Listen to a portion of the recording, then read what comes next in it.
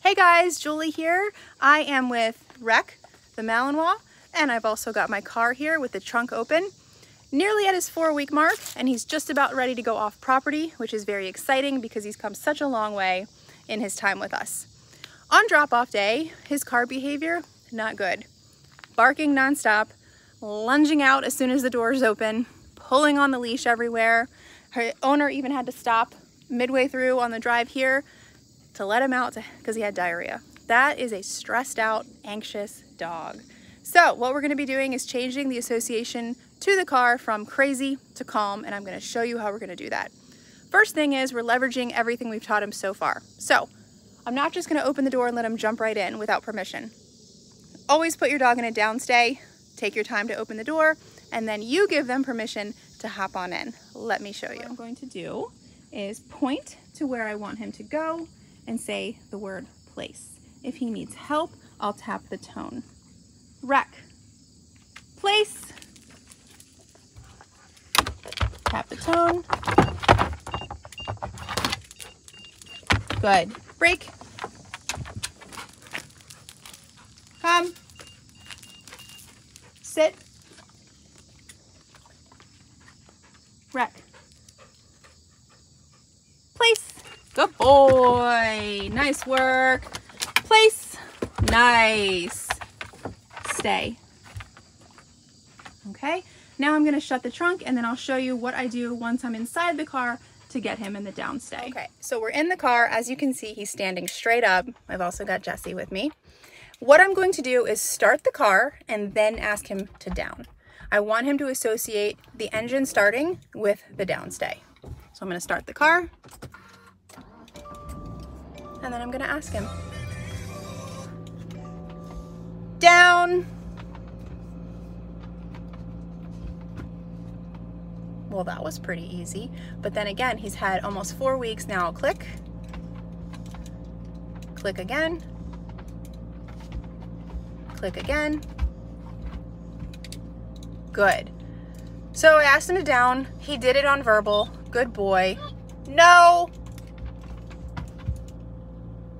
Good. I'm going to walk you through what just happened. He downed, no problem. Then he popped right back up.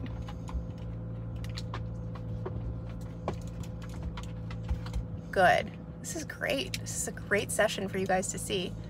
So then I start clicking. I'm at a level 8. He listens to that, but then he pops back up. It's sort of like a game of whack-a-mole. At that point, I'm not going to give him a down command anymore.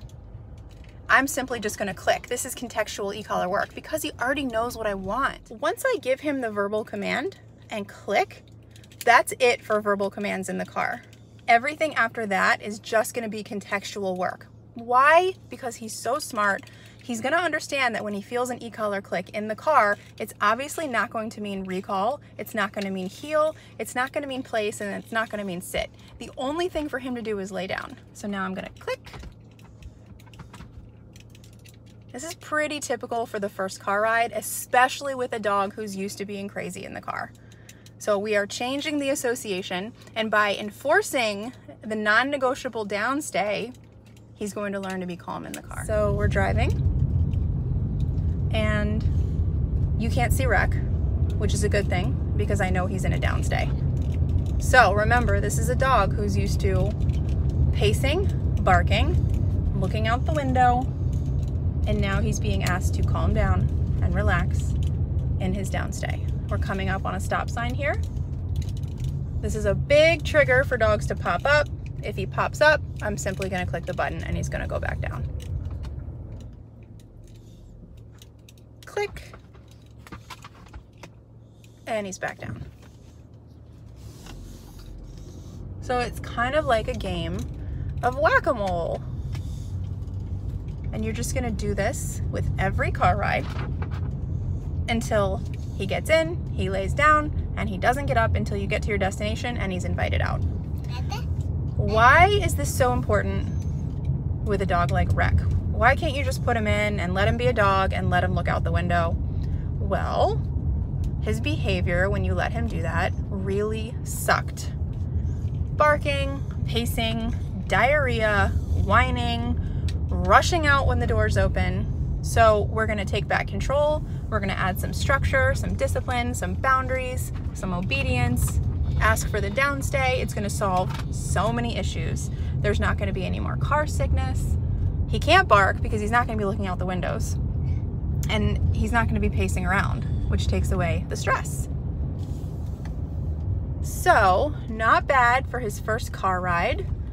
The only thing now is to just start practicing it every day. So every field trip from now on, um, we'll be enforcing the downstay in the car and that just gives us a one up when we get to our destination.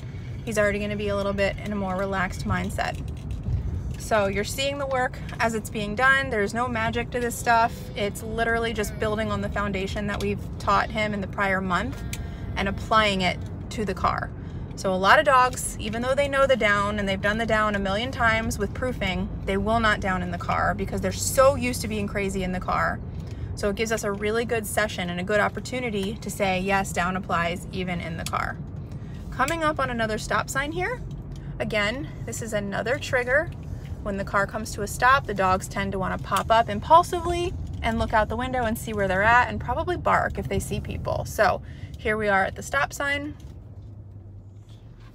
He's a very smart dog. He doesn't make the same mistakes over and over and over again. So I'm not surprised that he didn't pop up just there. That's one thing he's got going for him and his owner's got um, in his favor is that he is very smart. Once you correct him for something, he typically doesn't repeat it too many more times. All right, guys, I'm gonna hang up this for now just wanted to show you part of our car session with Reyk. Hey guys, we just parked the car. We're at a local gas station. I don't know if you can see around you. There's people, there's people pumping gas all around us. And we've got our boy Reyk. Um, my only job, as I'm sounding like a broken record, is to keep him in that down. Keep him physically there, the mind will follow, and your car rides are gonna be a lot less stressful. So I'm gonna turn off the car and I'm actually gonna get out and pump gas. Um, I'm really happy he didn't pop up at all and there's people around us. So I know before training, this would have triggered an eruption of barking out the window. Um, so again, while I'm pumping the gas, I'm gonna be keeping my eye on him because this is a training session. And if he pops up, even though I'm outside the car and he's inside the car, I can click because again, contextually, it makes sense and he's gonna know what to do with the pressure and go back down. Say hi, Jesse. Say hi. Yes. Hey guys, I'm here pumping my gas and I've got Reyk in the back seat of the car. There's people and cars all around us. This is a very exciting atmosphere and it's the same scenario that on drop-off day when his owner parked the car and got out, he was barking non-stop. And I don't hear any barking, do you? In fact, if I could show you, it's kind of hard to see. He's in a downstay. All right, we just got gas Got my dog in the back without making a peep, and now it's time to drive home. And I'll show you how we do it at home. Once we open the door, he's not allowed to just rush out. He's got to wait for permission. Um, every moment we leverage for training. So I'm really proud of him. This is his first of many, many, many, many car rides.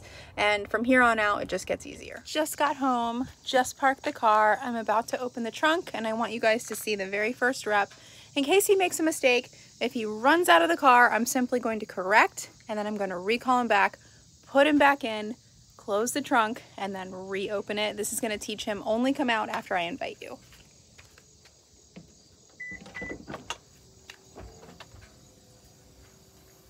Wow, he's impressed me.